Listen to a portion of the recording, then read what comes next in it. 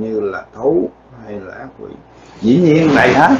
Mấy con thú á, là nó là đa số là à, à là những người tỷ phú những người giàu đầu thai thành thú.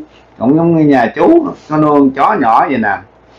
Sau này á, mới biết được nó tên là ông Friend là một điền chủ rất là giàu ở Mỹ này.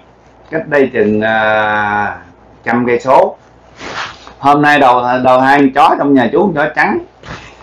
Tại vì ngày xưa ổng ăn hiếp mấy người làm, với lại ổng sống rất là ích kỷ. Thì hôm nay ổng đầu thai thành chó. Cho nên mỗi lần hồi xưa chú mà đi đâu dẫn nó theo á, chú nằm ngủ. Thấy tự nhiên cái người đàn ông từ ở trong thân chó đứng dậy. Hiện giờ đang còn sống á. Đó chú mua à, năm 2006 800 đô. Mà sau này mới biết ổng là một người rất là giàu có, mà hôm nay thành chó của mình rất là khôn nha. Rất là con mắt nó ngầu lắm.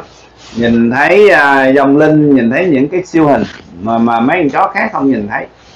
Cho nên bây giờ á, mình nhìn thấy cướp bờ ở nhà chú á, với những người mà hôm nay gọi là ăn trên ngồi rồi quyền hành á tỷ phú á, sau này á, mình không dám nói nha.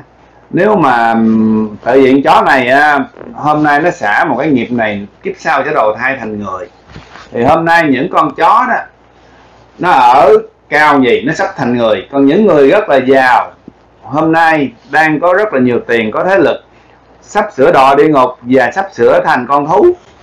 Mà con thú đâu phải là một kiếp thú đâu. Làm từ con thỏ, con chuột, con này kia, phải trả thịt lại, trả xác lại rất là nhiều, cả một hai nghìn năm.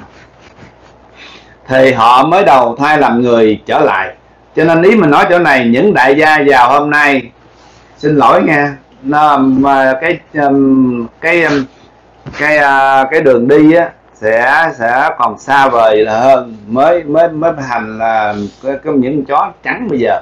Con chó đen thì nó lâu đầu thai lành người hơn nhưng mà con chó màu trắng á, sắp sửa thành người á. Thì nó đã đã trả tội rồi còn những người chưa trả tội á, sắp sửa sẽ sẽ đi tội. Ý là vậy á. Nhiệm Kiều nói